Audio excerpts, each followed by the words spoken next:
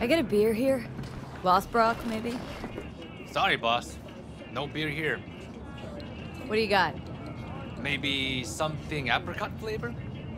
Some people say this gives them hiccups, but they lie.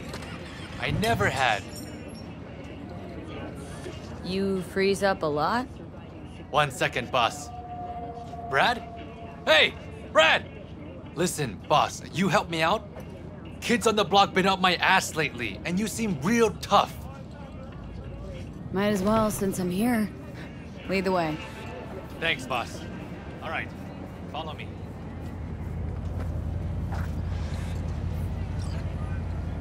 You lost your minds? Get your grubby paws off my bike! You think we're playing around? This is a small price to pay for fucking treason.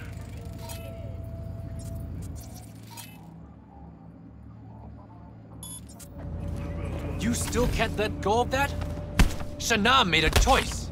You should be proud of her.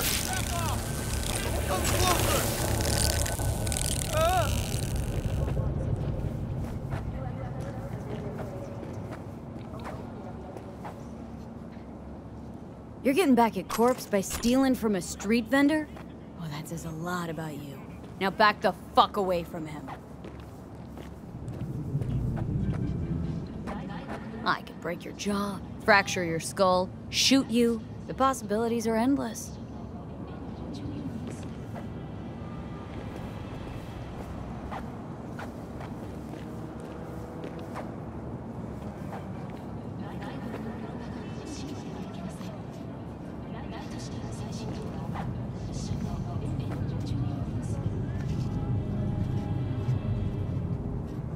Have they lost their damn minds?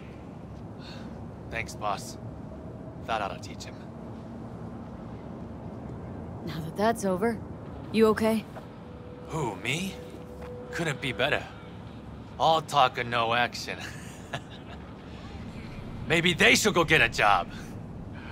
Fucking parasites. Well, at least Shana can focus on her job now. No one in the family ever got as high up as her. Anyway, stop by whenever you're around. I throw in a nice discount for you. Will do, boss. Thanks.